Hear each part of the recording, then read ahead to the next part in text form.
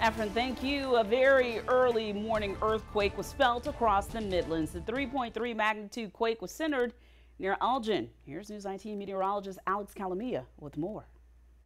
Well, many of us were in for a rude awakening last night. An earthquake hit Kershaw County again. This was a 3.3 at 1:32 in the morning at a depth of three kilometers below the surface. So it was a shallow earthquake, which means it was felt by many people. And that is what we're going to focus on. That 3.3 is the moment magnitude scale, but I want to focus on something called the community intensity scale, which takes your reports from the USGS and tries to quantify what that shaking felt like. And on this scale out of 10, it was a 4, which includes light shaking, which is enough to wake some people up, make rattle noises. I heard all of this. I woke up in Northeast Columbia and also heard some rattle noises. I was not alone. There have been over 3,000 reports to the USGS as of early Monday morning. These reports continue to fly in to the USGS. Uh, the most intense shaking was toward Lugoff, Elgin, and northeastern Columbia. You can see that's where that lighter shade of green is.